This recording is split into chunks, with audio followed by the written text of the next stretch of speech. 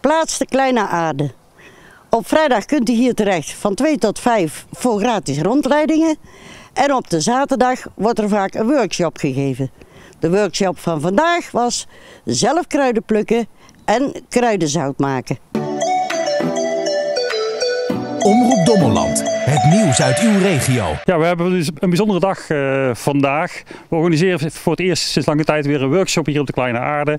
deze keer gaat het om, uh, om wildpluk en daar vervolgens een kruidenzout uh, mee maken. Hilma is hier vandaag uit, uit Schijndel en ze geeft hier vandaag deze workshop. En er zijn nou, zeker wel 18 mensen op afgekomen die hier vandaag leren hoe ze kruidenzout kunnen maken voor hun eigen keuken. Met, met planten die je zelf in de natuur kunt vinden. Wat is precies het doel van deze middag?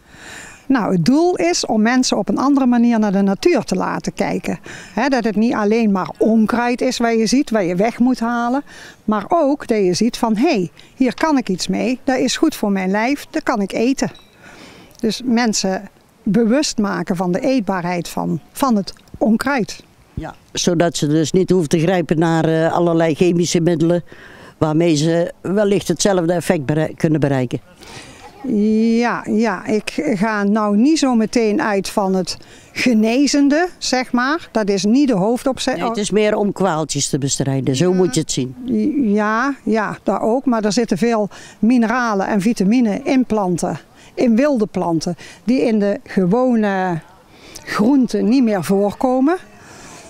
En ja, het is allemaal een aanvulling op je, op je voeding. Dus in dit zout zitten alle mineralen nog in? Ah, beter zout dus, lekker zout. Jij zei toen straks ook, je mag er zoveel eten, ja. van eten als je wil. Oh, is dat, is, wat is het verschil dan tussen keltisch zout en gewoon zout? Huh, daar hebben ze alle mineralen uitgehaald en die gebruiken ze voor de auto-industrie. Zoals de huidige groenten eigenlijk opgekweekt worden. Dat moet allemaal snel en vlug. Kijk, en dan worden daar hulpmiddelen bij uh, gebruikt, waardoor er dus de mineralen uit de grond ja, eigenlijk opraken. En als de mineralen en de vitamine niet in de, of de mineralen niet in de grond zitten, kan een plant die ook niet opnemen. Dus dat heb je ook niet in je voeding. Ik heb veel geleerd, maar ik hoop dat ik het nog kan onthouden als ik thuis ben. Maar mijn dochter heeft uh, een uh, site of op de telefoon iets en dan kan ik het misschien nog terugvinden. Een app met herken bloemen, planten. En dan kun je een foto maken en dan herkent hij hem en dan sla ik hem op. Ik had een, uh, een appje naar mezelf gestuurd en dan een foto gemaakt en dan de tekst eronder gezet. Dat is slim. Dat werkt helemaal geweldig. Dat is heel, inderdaad heel slim, ja. Het herkennen van planten, dat is vaak toch wel uh, het item. Ja, dat is ook wat we vanmiddag echt hebben laten zien. Zorg dat je een plant leert kennen. Dat je echt zeker weet dat je de goede plant hebt. En dan kun je mee aan de slag.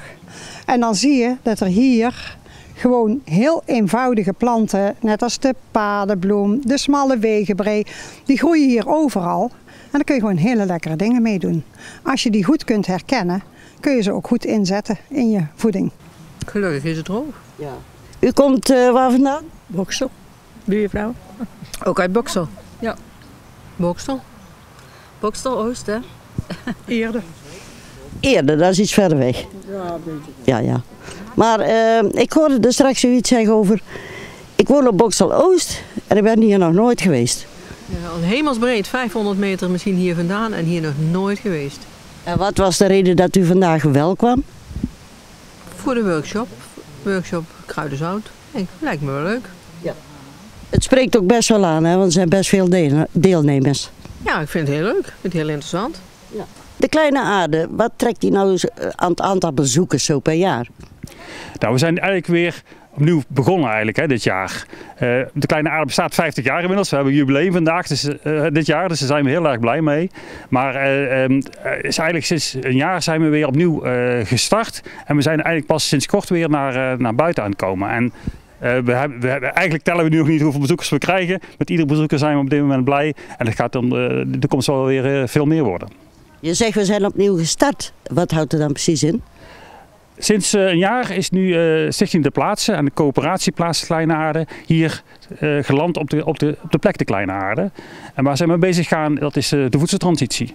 Het systeem waar, waarmee wij voedsel produceren, van grond tot mond, daar willen we mee aan de slag en ja, daar gaan we nu aan werken. Eigenlijk zeg je dus, we gaan over naar meer kleinschalige landbouw, biologische landbouw.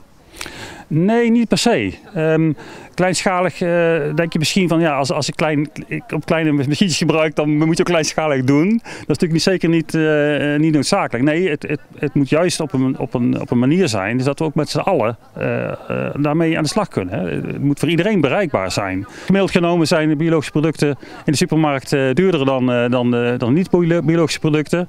Ja, dus eigenlijk zou dat niet nodig hoeven te zijn. We denken dat dat niet nodig hoeft te zijn. En uh, dat is natuurlijk een uitdaging. Hè? Hoe gaan we dat uh, voor elkaar boksen? Maar, ja, hoe gaan jullie dat voor elkaar boksen? Ja, dat, dat is nog, zijn we nog te vroeg mee om daarmee al uh, volledig mee uit de doeken te doen. En we hebben nog wat, wat werk te, te verzetten om dat kenbaar te maken. Maar dat gaat komen en daar gaan we mee in de slag.